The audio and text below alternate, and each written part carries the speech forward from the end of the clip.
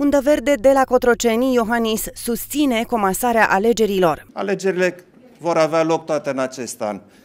Patru rânduri de alegeri este foarte mult, care cu care se pot comasa în mod legal, corect și constituțional, va elucida guvernul și coaliția de guvernare.